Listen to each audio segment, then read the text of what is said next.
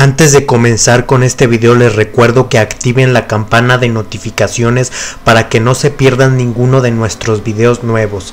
Así cada vez que suba un video nuevo se les notificará y podrán verlo. Muchas gracias y comenzamos.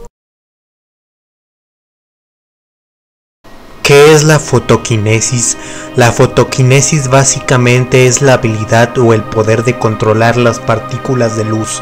Podemos cambiar el color de la luz, ver nuestra propia aura, además también puedes curar enfermedades con este poder. En este video aprenderemos a desarrollar este poder mediante una técnica de meditación. Como sabemos la meditación puede ser utilizada para desarrollar cualquier tipo de poder psíquico. Lo que tenemos que hacer es ponernos a meditar en un lugar oscuro. Después de eso, concéntrate y entra en un estado profundo de meditación.